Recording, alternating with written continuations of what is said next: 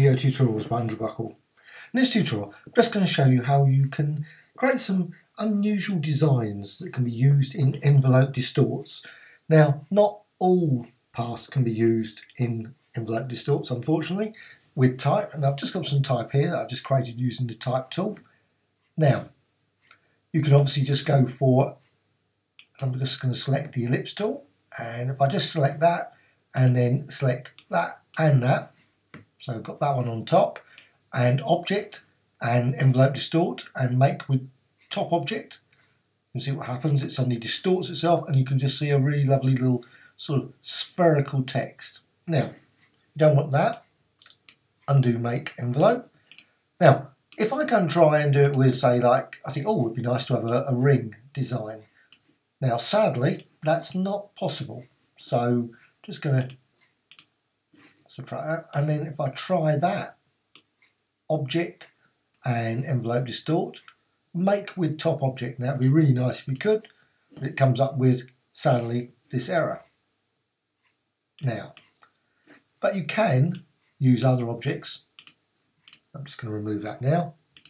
So you can create very complex shapes, but the key thing is to avoid making them a compound. So if you actually just go, well, you can actually use like type as well type is quite now you can't use every letter. So if you try and say go with I'm just going to type the now that it will not work because you've got the E E there.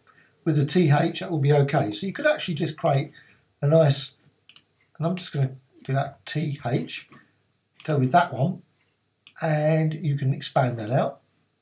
I'm just going to expand it won't work with type. So expand and and ungroup helps at that point because what I want to do is actually join that together. I want to avoid it being a compound so I'm just going to select it like that.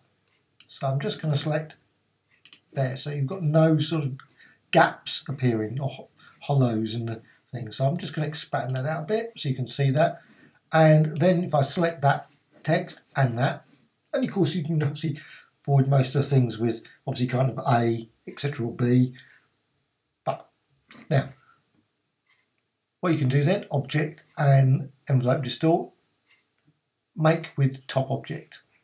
And again, you will see it. Now, what the result is actually is pretty uh, a mess, but uh, it does show that you can actually create some really interesting sort of distortions as a sort of, sort of you can see it followed around there. Now, I don't want that, so I'm just going to go undo scale and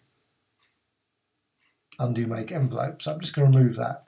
Now what you can also do, and I'm just going to now just add again. Now one thing with this, I'm just going to create some blobs. So you can just create a blob, blob, obviously not really blobs, but it's a circles. And I'm going to combine them all. Now the key thing is not to have a gap in suddenly in the in the centre. So you don't you don't want to sort of join that and then you'd have that little gap in there. What you want is a sort of long line, and you can have them going off off in that direction and small bits there. Right, so you've got that design. That's a perfectly reasonable design for the wall. So just going to distort. So just going to unite them all. And now with that like that, I can just go up there, object and gain envelope distort, make it with top object. And then you've got that shape there. So you've got a nice little sort of bubble shape being created. You can see the distortion. There's distortions around some points, and of course you can tweak those. You can still edit the points. You can just go over here, just use the direct selection tool, and you can just edit the individual points there, maybe in there as well, just to pull that out if you wish. So maybe drag that out, and might take a few seconds to reprocess. But you can see you can actually distort these as well. And of course you can actually add another distortion. You can actually go on top of that. So you can actually add, say, a circle and another circle there.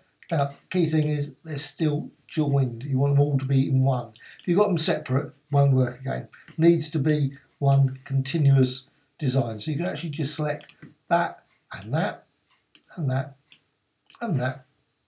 Select all those and then again unite them and it's done and then select that Now it might take a few seconds to process.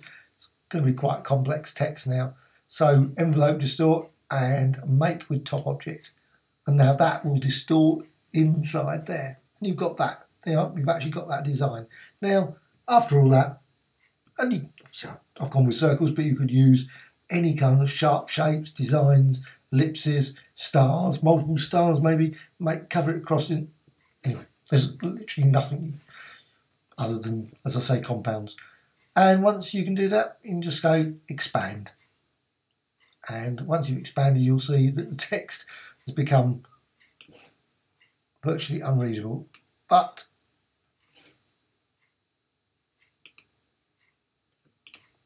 might be useful for a page. And of course, you can, uh, once it actually lets me not see that, you can then use it maybe in Photoshop, maybe copy it over into After Effects and a range of other products and modify it even more. Hope you found this of interest. Thank you much.